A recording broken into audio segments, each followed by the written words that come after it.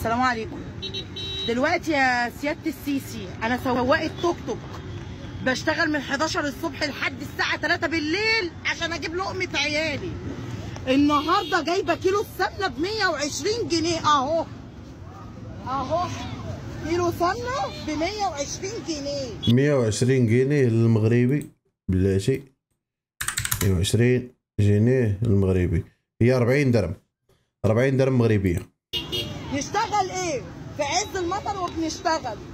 وبنشتغل حلال. لا بنعمل مخدرات ومعايا عيلين. بدفع 1000 ونص إيجار. بطاطس ب 12 جنيه. جزر ب 12 جنيه. خيار ب 16 جنيه. رز ب 32 جنيه وب 35 جنيه. زيت سايب. أنا معايا أربع أفراد. عارف يعني إيه أربع أفراد؟ أنا اتشلت من التومين ليه؟ أنا ست ارزقيه بس هو طفل بقالي أكتر من 14 سنة. معايا عيلين واحد في رابعة ابتدائي وواحد في ثانية ابتدائي. متطلقة بقالي أكتر من 10 سنين. قول لي اعمل إيه؟ إحنا كده خلاص تعبنا وجبنا الآخر. عارف يعني إيه جبنا الآخر يا سيادة السيسي؟ أنا ما أعرفش. الراجل اللي هو كان ماسك البلد دي كان بيسرقنا إزاي؟ كان بيسرقنا إزاي؟ أنا ما انتخبتكش لا في المرة الأولى ولا الثانية ولا الثالثة ولا الرابعة. عارف يعني إيه؟ أنا ما انتخبتكش إخوان راه راه فريمون راه شبكات دابا في مصر. راه كلشي ما بقاوش خايفين. ما بقاوش خايفين من الحبس ما بقاوش خايفين من الحكم ديال العسكر. راه خرجوا كلشي تيهضر راه كلشي كيهضر دابا ملي كتقول لك هذه 120 120 جنيه. 120 جنيه خدات الآخر كيلو. بحال اللي تقول بحال اللي تقول ها انت نديروا لها واحد الحساب 120 مضروبة مثلا عندك في 30 يوم. غادي تعطيك 3600 جنيه. في الشهر يعني 1200 درهم ديالنا حنايا تصوروا أنه الحد الأدنى للاجور في مصر شحال؟ هو 3500 جنيه. يعني هي 1100 درهم وقيلة مغربية. واحد الأدنى للأجور. يعني إلا كانت غتاخذ لها كيلو سمده ولا ما سماتها. فينا هما اللعيبات الأخرين. فينا هو مثلا الكراق فينا هو اللباس فينا هو الدواء آه، فينا هو الزيت فينا هو الطحين. يعني راه راه شوف راه التعويم ديال الجنيه كان أكبر خطأ وقعت فيه مصر. راه تصور أنه دابا أنت كتدخل كتبغي تقدم مثلا قرعة ديال الزيت ولا قرعة ديال الماء أنت داخل راه مقيدك واحد الثمن. كتجي تخلص كتلقى راه تزاد الثمن. ديك البلاصة ذاك الوقت تزاد الثمن. راه راه فريمون راه مشكلة. أخويا الله يحفظ لنا البلاد يا ربي والله الله يسهل عليهم تا هما يا رب. يلا ذكرناكم بالخير. اسمعي يا فوزية هتجيب ال 20000 جنيه بتوع الجمعية ولا لا؟ عشان الناس يا ما كبتوا على ودارت عشرين ألف جنيه. شحال أخويا جات عشرين ألف جنيه ديال الجمعية ديال دارت؟ وليتي هي عشرين ألف جنيه. أو ستة وخمسمية درهم. أو عشرين ألف جنيه ديال دارت ساكتة حلي إيه ولا يا فرع الصبح أجيب لك منين يا ست ابيض مع ناس. تكره الله على روحي وبيعي هذا بليج واحد وخلص عطيه السيدة رزقها إيه يا ما تعليش صوتك يا ولية أحسن ما اديكي 100 قلم على وشك لو جايين معانا فلوس. كل واحد ياخد 100 قلم على وش. لما حبيبتي تتكلم رجعت تنزل الصوت. ما تقبلني يا ماما. دابا الدراري الصغار ما فهمناهم شو غير تتحمق أمي؟ جمال الفا ما يتحمق. دابا ما فهمتش الدراري شنو دا شنو قالوا ولا عقل شي يقول. بره وانت أنا انت بتطلع بره حلو قوي كده. يلا يا ماما. هي تتصرفي مع اولادي ولا تغوري الستين داية من هنا. لما في الكترة سترة وإحنا راجعين تاني. أنتوا اتلميتوا؟ أحلى صباح عليكم بس أنا هرد يلا يا عيال. هادشي دابا عاوتاني الحومة. جيب داك خونا عندو داك الزقيق فهمتي هاي غادا عندو يا راجل يا موكوس عيال فوزية اتلموا عليا بسبب الجمعية وانت قاعد تاكل لي رمان. هو أنا ولاية هروح لوحدي. ما أنا قلت لك ما تروحيش. عيالها هيضربوك وأخوك ليشا ما بيكلمناش. عايزين أروح أنا وأنت نعمل إيه؟ نتضرب هناك؟ خلي بالك يا غزام أنت من بقول لك إيه يا أسطى؟ أنت كده هتحزمك جوز أمك ده يبقى أبويا. هو في إيه بالظبط يا وليه؟ هو أنا طالق ابننا لما راح تجيبي لي ابن طليقك أنا مش ناقصاكوا أنتوا الاتنين. آه يعيش معايا. خليك أنت كده بوشك. أنا أعرف أجيب دري صغار عندهم 35 عام فلوس الجمعية. خدي بس يا ولاد استهدوا بالله تعالي خد. صباح الرضا يا اخويا يا لوشا. أنا واقع في مشكلة كبيرة. ممكن اتكلم معاك؟ أحلى صباح عليك يا خالي لوشا. آه هو خالي لوشا زي ما هو. أنا الكلام ده مش هيجي معايا خالص هنا خلي بالك. أنا معايا مكمكم اهو. هتيجي انت تزود مش ناقصك. انت سبت أبوك وجيت ليه؟ بابا سافر وأنا قاعد على قلبه. طب هو بيتكلم معايا عادي. بره اي زعل يا اخويا يا لوشا. ولاد فوزية لا حول ولا قوة إلا بالله. الحمد لله منوف مبهدليني ومش عايزين مازال. فلوس ماشي الجمعية. وقف. وهنتفشخ في السيدة زينب كلها. أنا عايزاك تيجي معايا.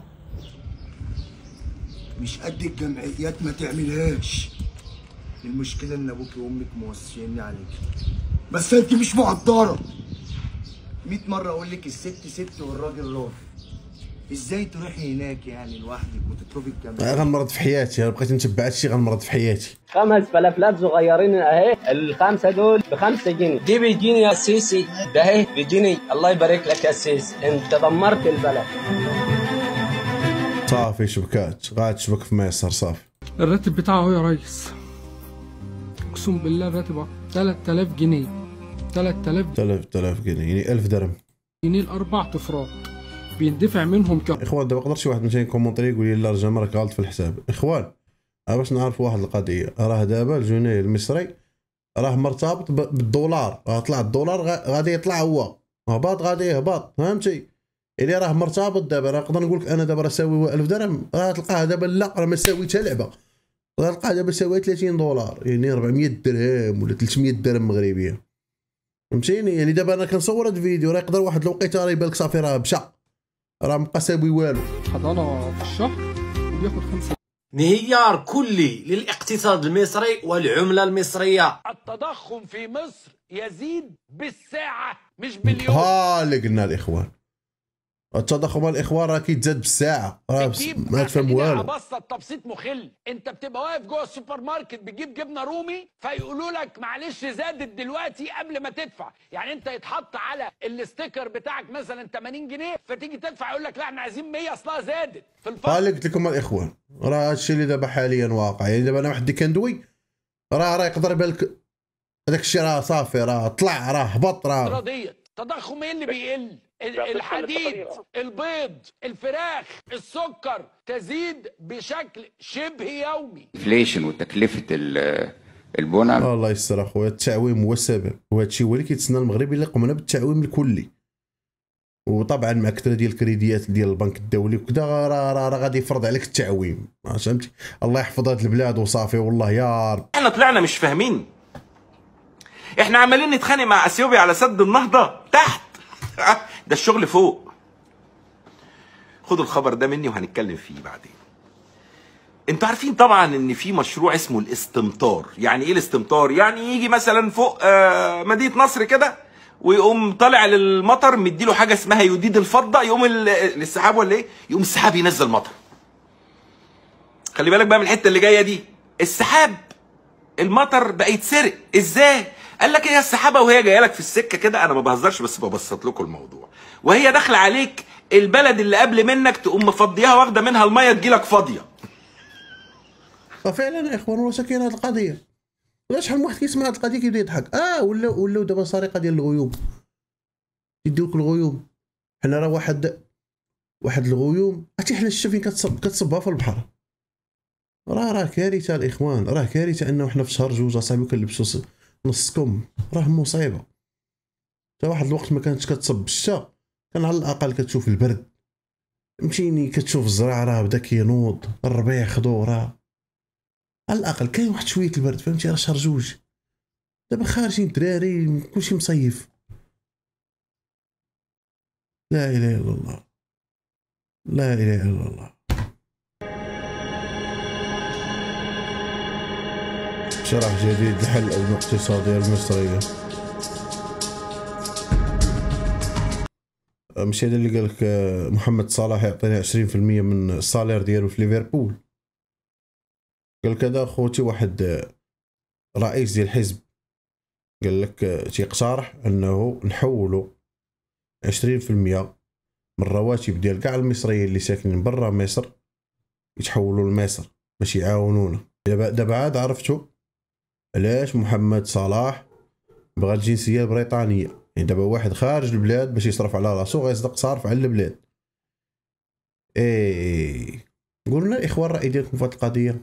واش كتأيدوا أنه واحد خارج البلاد يعطي 20% من الصالير ديالو للبلاد؟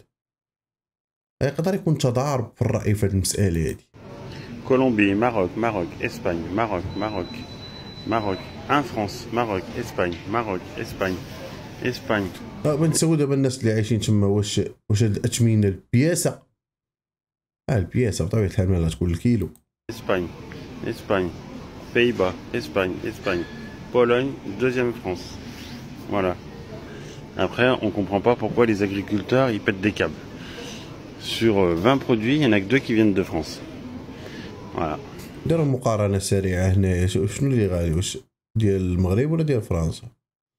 Sur المغرب؟ صفر أربعة. لا لا لا. تشوفوا نفس نفس السلعة المغرب ثلاثة فرنسا خمسة أورو أربعة فاصلة تسعين وتسعة وتسعين. المغرب صفر ما ما, ما عرفتش أخويا. الناس اللي عايشين برا مالي غادي يقولوا لنا الإخوان مقارنة مع الأسعار ديال المغرب واش رخيصة ولا غالية. بصوا دي فئة ال 100 جنيه. تعالى أقول لكم جبنا إيه بال 100 جنيه دي على الصبح. علبة فول ب 20 طبعا أنتوا شايفين مستوى الفول مية إزاي؟ دول كده ب 16 جنيه. عشان الناس اللي بتقول فول وطعمية. فول وطعمية. ب 16 جنيه الطعمية دول. علبة جبنة ب 20 ب 20 لانشون المفاجأة الكبيرة بقى عشان الناس اللي بتقول لي العيش. 10 ترغفة ب 15 جنيه. أنتوا بصوا الرغيف عامل إزاي. 100 100 جنيه بالمغربية شحال جات؟ 100 إيه، 32 درهم. حاليا. دابا ده رغيف العيش؟ يعني الرغيف ده واقف بجنيه ونص. ودابا دابا شوف اسمع 30 درهم تقدر ربما تجيك هي هذيك ولكن راه كنهضروا على بلاد الحد الأدنى الأجور ديالها 1000 درهم. 1000 درهم. فول وطعمية يعني أرخص أكلة عندهم. هي ده كده وإحنا كده خلصنا ال 100 جنيه. طب يبقى يا ريت في مراعية في الأكل. لا ده حتى الفول ما يتاكلش. يعني غلو والأكل ما يتاكلش. حول ولا قوة إلا بالله. تشتكي من إيه؟ أسألك سؤال واحد بس. دولة ليها برلمان وليها مؤسسات عسكرية ومؤسسات أمنية خارجية وداخلية وليها 20 وزارة. حالها يبقى بالوضع دوت وبالشكل ده إزاي؟ بالله عليك قبل ما يحصل انتخابات لرئيس الجمهورية كان عندنا سكر يكفينا وكان عندنا رز وكنا بنصدره. إيه اللي حصل؟ راح فين وجه منين؟ عايزين نفهم. نتفرج على التلفزيون نلاقي مصر فيينا ننزل في الشارع نلاقيها بنت عم الصومال. بالله عليك قول لي إيه اللي حصل وايه الحل. الناس اللي فوق اللي رايحين يحتفلوا. لا مؤاخذة رايحين يحتفلوا جايبين 38 وفد. يصرفوا عليهم 25 مليون جنيه والمواطن الفقير. مش لاقي كيلو الرز في الشارع. هل ده يرضي ربنا؟ ده ربنا يوم القيامة هيجيب الناس يقول أين ملوك الأرض وحكامها لمن الملك اليوم؟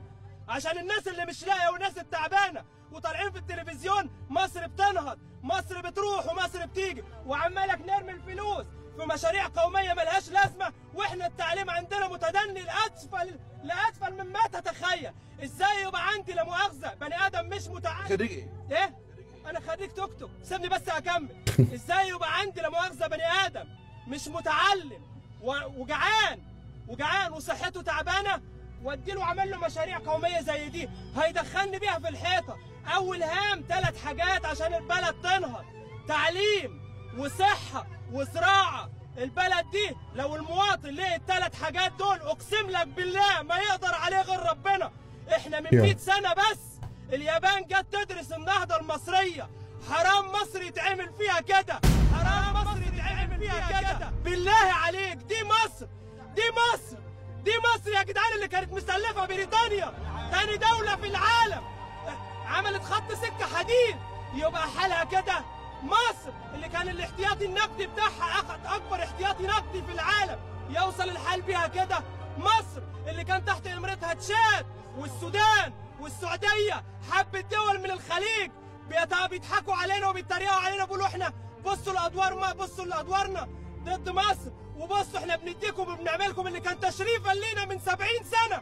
كسوه الكعبة بتطلع من مصر راجل الله يتلخص الحال ديال مصر بجوج كلمات. الله يتا راجل تبارك الله. بمصر هل ده يليق بمكانة مصر مفيش حد قلبه على مصر ولا بيحب مصر يقول لا حرام ما يرضيش ربنا شوية تجار. كنتمناو يا ربي ما يكون طرا ليه والو. كنتمناو يا ربي ما يكون طرا ليه والو. الأزمة الاقتصادية اللي بنعيشها دي السبب فيها هو السيسي ونظامه اللي رهنوا البلد للديون واللي تضاعفت في عهده بعد ما كان مستلم البلد وهي 43 مليار دولار عشان توصل النهارده ل 165 مليار دولار. وده الرقم الرسمي لأنه خبراء كتير أكدوا إن الرقم الحقيقي أكبر من كده بكتير بسبب فاتورة الفوائد بتاعة الديون المرتفعة اللي السيسي مش قادر يجاريها وبيبيع أصول البلد عشانها السيسي ورطنا في الديون دي من أول ما وصل للسلطة بسبب عقليته الاقتصادية الفذة اللي بتعتمد على البركة مش على دراسات الجدوى. فالراجل قال لك أنا عشان أنهض بالبلد فهعمل مشاريع عملاقة كلها تتركز حوالين الطرق والكباري والعاصمة الإدارية والقصور الرئاسية. ما هو ما ينفعش يجي حد أجنبي مثلا يزور مصر ما يلاقيش عندنا قصور رئاسية وأكبر جامع وأفخم نجف. وطبعا عشان يعمل مشاريع زي دي كان محتاج مصادر تمويل كبيرة. لأنها مشاريع عملاقة وهتتكلف مليارات الدولارات. في البداية بدأ بمشروع تفريعة قناة السويس الجديدة. هو أنا عندي سؤال. سؤال بجد أنا أول مرة أتكلم في الموضوع ده. وإحنا رايحين لحد فين؟ يعني إحنا رايحين لحد فين بجد؟ لما إزازة زيت الزيتون دي الصغيرة دي دي سعرها 1205 95 قرش. 1205 95 قرش. تمام؟ يعني 1206 إيه بقى؟ بجد هو إيه اللي فاضل؟ يعني أنا 392 درهم. قرعه ديال الزيت مغربية. 392 درهم. انت كتشد 1000 درهم. قرعه ديال الزيت تاخذها تلت- 400 درهم. أش بقى لك؟ أنا أنا ست ممنوعه من كل اي من كل الزيوت والزبدة وكل يعني آكل بإيه؟ بمية ولا أعمل إيه؟ سيبك سيبكم مني خالص. مش أنا مش مهم. أنا أنا بتكلم في حاجة لكجيريس مش عايزاها.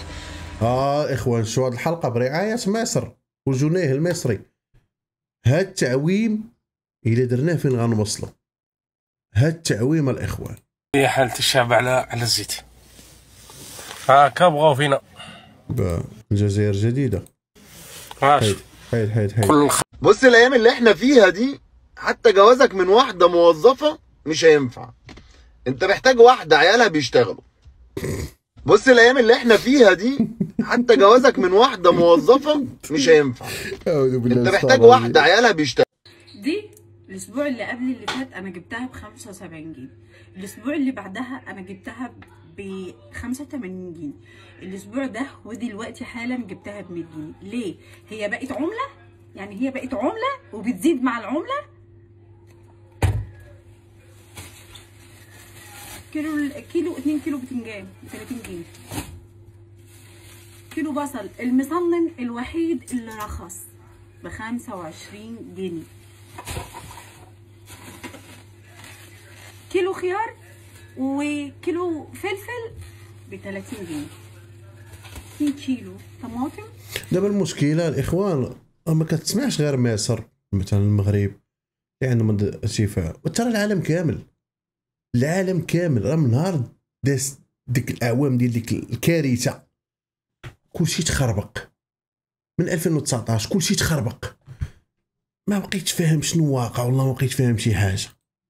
الله دين امه من الآخر أنا ماشي يا عم ودفعنا يا عم أنا مالي ومالك وحتى الشباب كلها والشباب كله ضا- ضايع وجيش وحكومه واكلين البلد وأكلين دين أم البلد واللي اتعلموا خد شهادة خد بالك وإحنا اللي ضايعين في البلد هنا دين البلد دين البلد دين أم اللي جبنا فيها.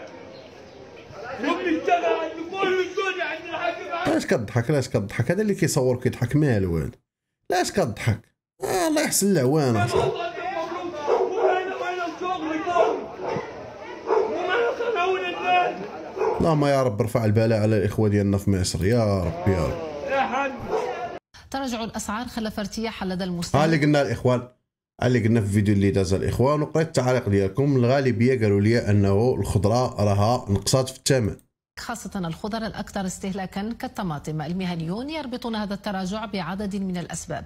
من سوق الجملة للخضر والفواكه بإنزكان نتابع روبورتاج لحيجب تامك وحمزة السايح. أطنان من الخضر والفواكه يستقبلها يوميا سوق الجملة بإنزجان قادمة من مختلف المناطق الزراعية بجهة سوس مسا وهذه الأيام يسجل انخفاضا في أسعار بعض أنواع الخضر ومرد ذلك حسب المهنيين إلى التقلبات المناخية. التخفيف من نسبة التصدير يلا الإخوان يلا. يلا يا ديروا مطيشه في فريكو ديروا داك شي congelé اللي تزاد في رمضان راه ما تعرف شنو الحكومة ان شاء الله البيض والدجاج والمازوت تا هو إحنا باقيين فيها باقا باقا الخضرة كتلاح الاخوان في أوروبا. إسبانيا وفرنسا. كاع les produits اللي عندهم من برا بلادهم كلهم تيحيدوهم يعني كتضيع فيهم ال- البلاد ديالهم. علاش؟ حيت راه normalement راه مخلصين. قبل ما يدخلوا يعني البلاد ديالهم ما خلصات الخوف كل الخوف أنه هذا الشيء هذا ياثر على الاقتصاد ديال البلاد. باش إحنا ملي كنصدروا وهذا الشيء ما يبقاش يتصدر يعني الاقتصاد ديال البلاد ياكل شوية الشحط. ولكن من الناحية الإيجابية الشعب دابا غادي ياكل الخير ديالو بخير وعلى خير وبثمن مناسب. يعني ضروري أي حاجة عندها إيجابيات وسلبيات. آه، هادي هادي بحال تقول الشيخة المهم بحال ديالنا حنا. هادي ليبيا الإخوان. تشدات. شدوها في ليبيا حيت قالت لي غنت واحد أغنية وقالت لهم صاحب لي يجيني لداري.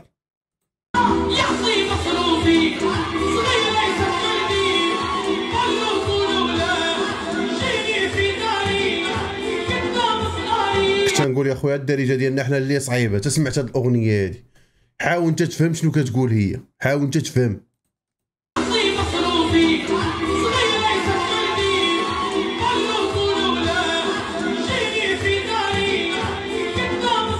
ما كاينش يسالم معايا نقد الخلفية. ايات ديال القرآن كاينة هنا ايات ديال القرآن كاينة تما يدري عني جيت عنده للدار واحد المرة. قال لي دابا انت مضاد معايا. قال لي سير ضاد مع اللعابة. قلت لي لا هذوك اللعابة. يعني كنا ناكل معاهم طرف الخو... طرف ديال الخبز. علاش غادي نضاد معاهم؟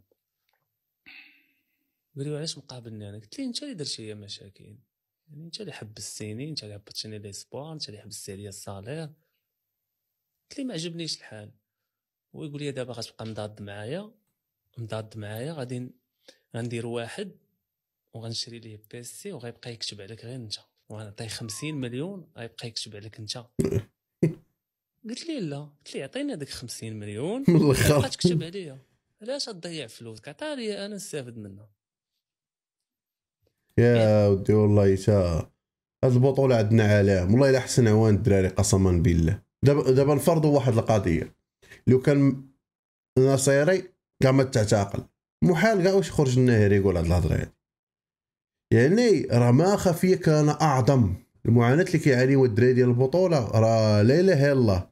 راه مبقاتش بطولة هادي راه ولا مسلسل سامحيني. يعني جوج سطور شوفوا كرة في المغرب كيف تسير. ولا أربعة. شحال؟ شحال غادي يبقاو يومين سيمانة شهر؟ ماشي مشكل. ثلاثة سيمانات ماشي مشكل. حتى داكشي دايز. ساهل باش تكتب عليه مشيت عنده للدار. لا حول ولا قوة إلا بالله. أي واحد دابا غادي يقول لك هاد الهضرة كاين نقولها قبل. ما يقدرش. ما يقدرش اصاحبي ما يقدرش. الرؤساء عندهم نفوذ ما باقيش يشمها في المغرب.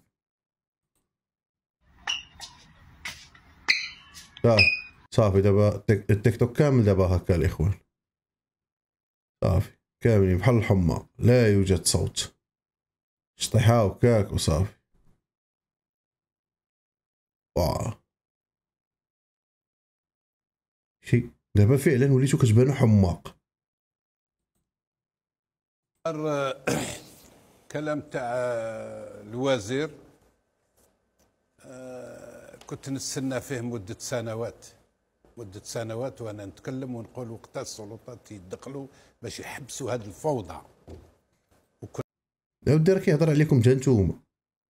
راه كيهضر عليكم حتى نتوما. الوزير خاصو تا هو يذكر السميات. راه كيهضر عليكم كاملين.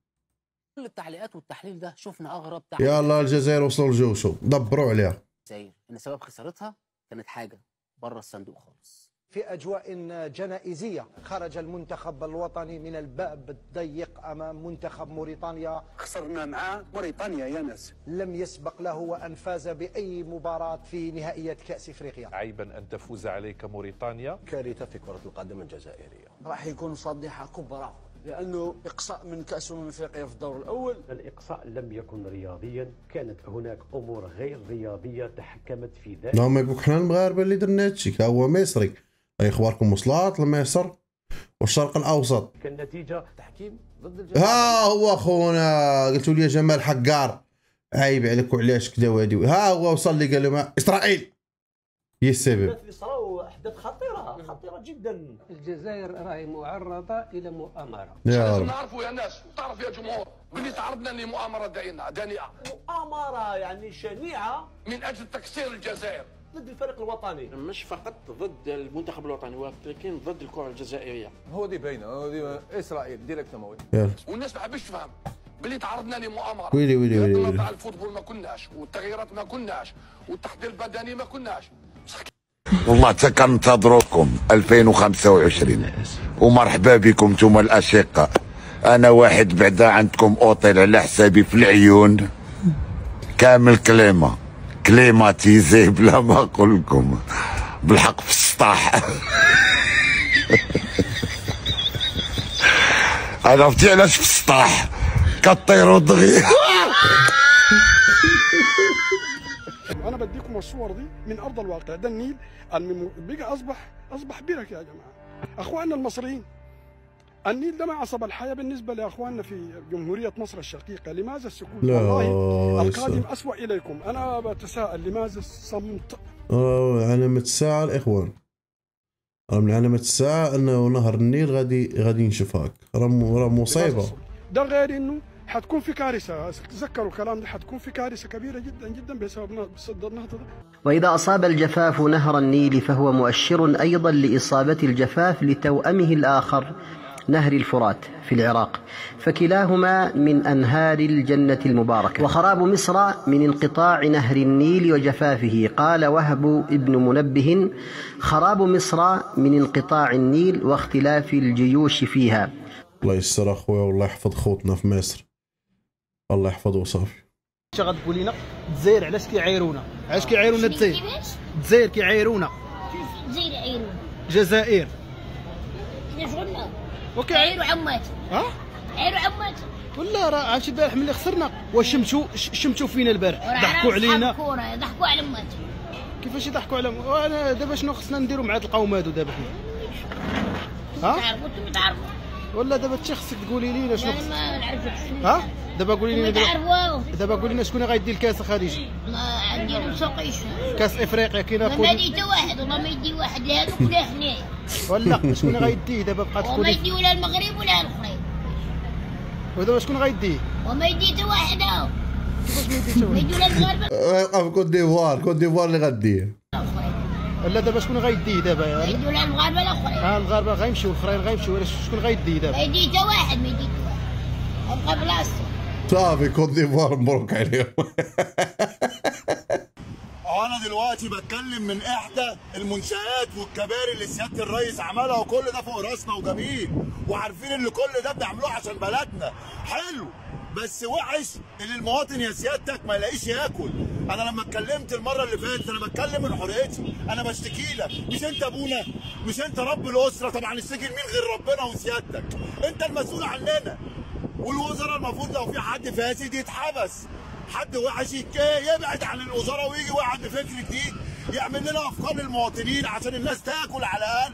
إحنا مش عاوزين حاجة إحنا احلامنا بسيطة والله. نفسنا ناكل بس. بس. مش هقول لك هنتجوزه ولا نعمله ولا لا أنا قاعدين في إيجار حديث وكل ده ما فيش مش مهم مش مشكلة. يجي وزير للتومين يعمل حلول. الفساد يتحبس. ما الناس مجلس الشعب تتكلم صافي هذا هو الحل اللي بقى عندهم يا خويا خرج فيديو شدني اديني الحبس. اديني الحبس. على الأقل غناكل في الحبس فابور. هذا هو الحل اللي بقى اليوم؟